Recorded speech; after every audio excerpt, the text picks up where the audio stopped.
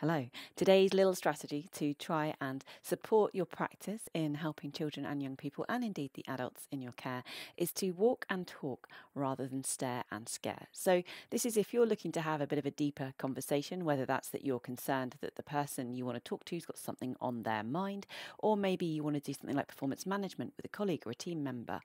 Instead of setting up a really nice room and trying to create a nice environment for a kind of interview type situation, just get walking.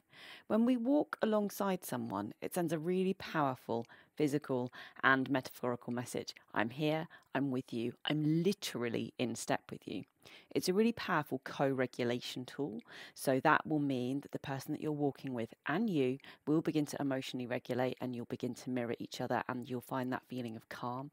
You'll both be well able to access your thinking, speaking brains, even if one or both of you starts the conversation feeling somewhat angry or anxious. So, walking and talking really, really good for regulation. The conversation is likely to be of better quality as a result.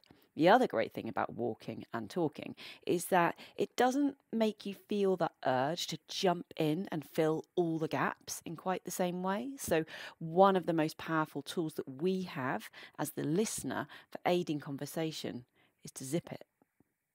When we're silent, the other person has time to organize their thoughts, to cut through the noise in their head, to pull themselves to a place where they feel able to speak again.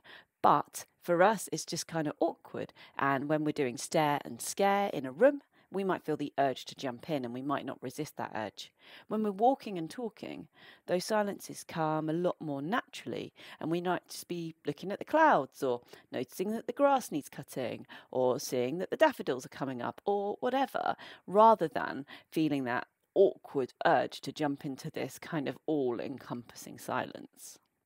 Finally, on a super practical note, um, if you are in a really, really busy job, as many of those of you who watch my channel are, the opportunity just to actually get up and walk around a little bit can be incredibly helpful to you, can help you to get the kind of cogs whirring again, bit of fresh air, and is beneficial outside of how it benefits the person who you're looking to talk to and listen to in that immediate instance. But it will also mean that you kind of bring of your best self. It's a bit of a moment of reset for you. So a really nice little injection of a bit of physical activity, a little bit of connection with nature into your day. So it's a pleasant pleasant way to spend a bit of time.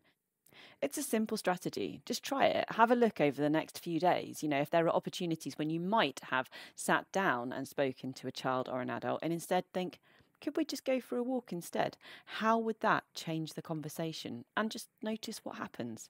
I'd love to hear how it does go for you if you try it. Uh, pop uh, your experiences in the comments below and also any other suggestions you have for aiding tricky conversations. Until next time, over and out.